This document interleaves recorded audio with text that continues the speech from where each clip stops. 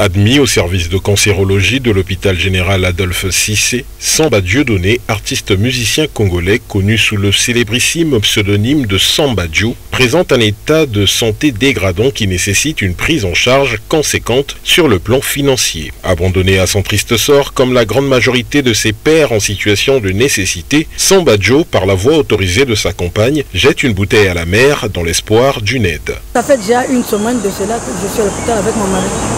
Mon message vis-à-vis de la population, euh, euh, aux autorités, qu'ils viennent en aide. Qu'ils viennent en aide. Tu sais que la maladie, ça, prend beaucoup d'argent.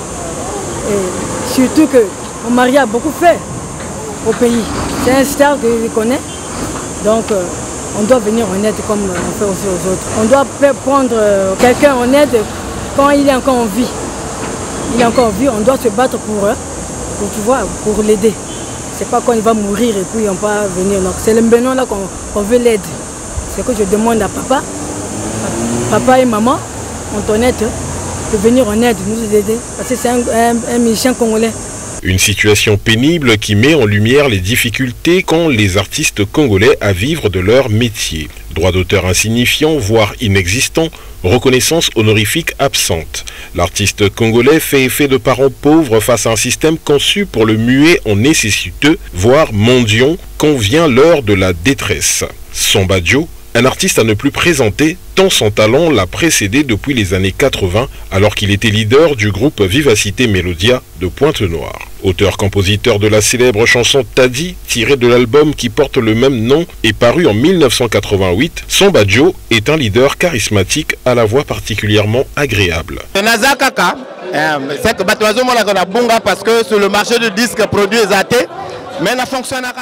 je suis toujours là, bien que je n'ai pas de produit sur le marché du disque. Tous les titres que j'ai à composer parlent pour moi, et j'ai encore de l'inspiration pour continuer à satisfaire les amoureux de la bonne musique.